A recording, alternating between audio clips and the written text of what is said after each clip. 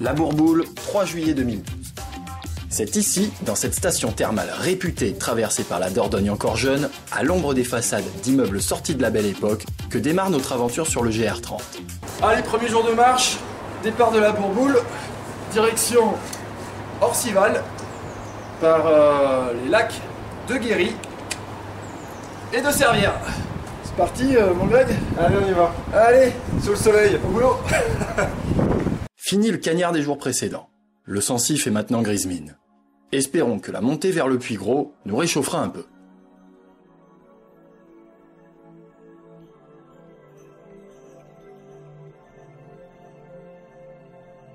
L'ascension à travers la forêt à la sortie de la Bourboule met tout le monde d'accord. Près de 600 mètres de dénivelé en un peu plus d'une heure, autant dire que ça réveille vite les mollets.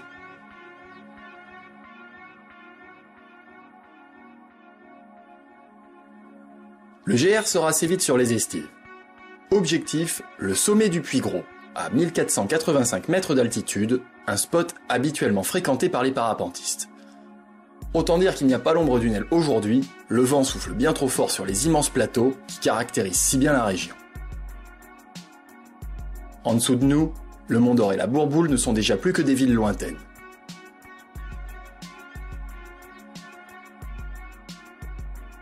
Les premières salaires sont là. La vache rouge emblématique, facilement reconnaissable avec ses cornes en lierre, c'est près de 200 000 têtes ici en Auvergne. Et voilà, des vaches, du verre, des grands espaces. Vous savez que vous êtes en Auvergne. Concurrencée par l'Aubrac, elle n'en reste pas moins une vache rustique, dont l'élevage perdure aussi pour le maintien d'une tradition régionale. D'un naturel plutôt curieux, elle n'en demeure pas moins farouche à l'égard du randonneur. N'est-ce pas Greg? La salaire, c'est une race mixte qui produit à la fois de la viande et du lait qu'on utilisera pour la fabrication du Cantal.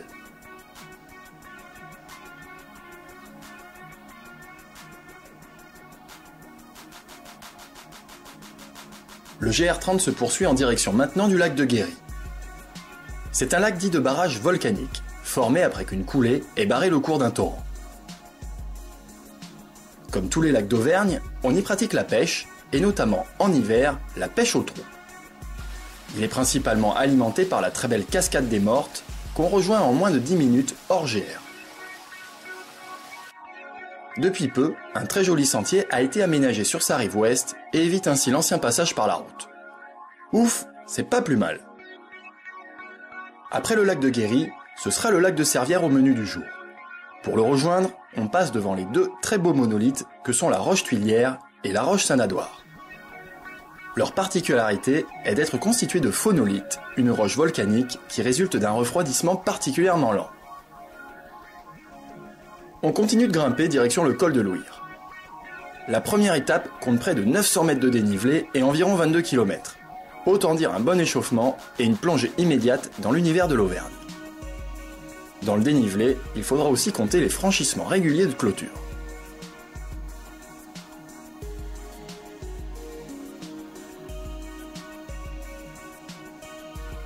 Alors on arrive ici au, lac de Servières.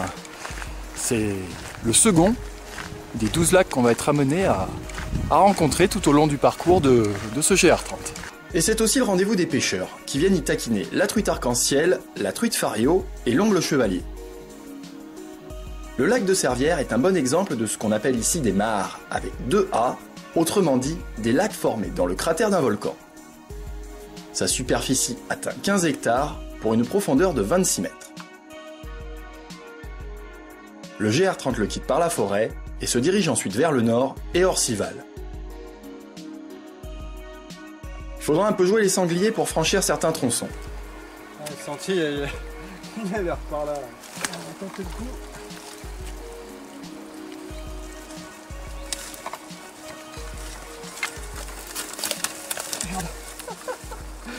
Puis la forêt s'efface, laissant apparaître au loin le sommet du Puy de Dôme. Il ne reste plus qu'à parcourir quelques kilomètres de bitume pour rejoindre finalement Orcival.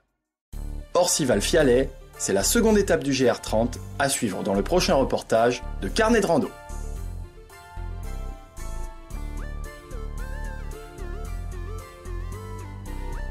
Je trouve pas mon buff, hein.